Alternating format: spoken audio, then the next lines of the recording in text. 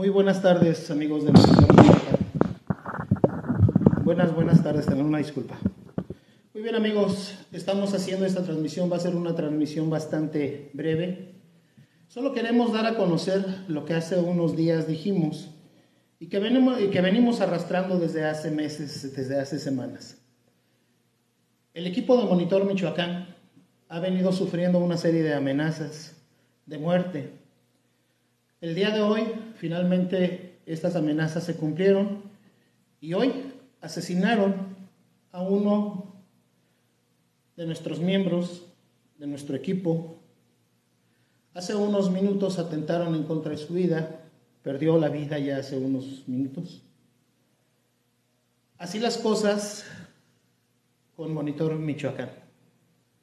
Exhibir corrupciones de gobiernos corruptos, de funcionarios y de políticos corruptos, el día de hoy nos llevó a la muerte de uno de nuestros compañeros. No puedo hablar mucho, no puedo decir mucho.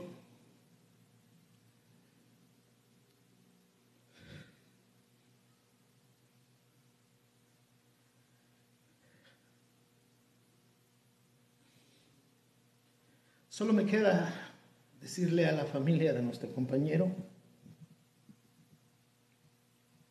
que no vamos a dejar las cosas así y las vamos a llevar hasta sus últimas consecuencias. Les ofrezco una disculpa. Se me quebra un poco la voz.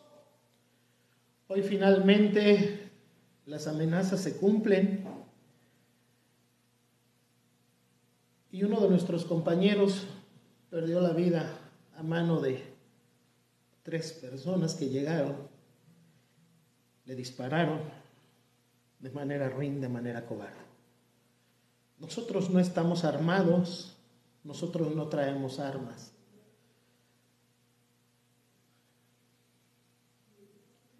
Nuestra única defensa es una pluma, un lapicero, una libreta. Lamentamos este hecho y lo condenamos. Hay nombres, sabemos de dónde viene todo esto.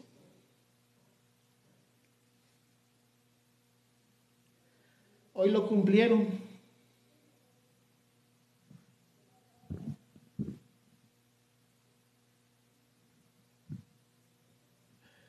La información va a seguir fluyendo al final vamos a seguir señalando corrupciones y políticos corruptos, aunque la vida nos vaya en ello. Lamento tanto este hecho, lamento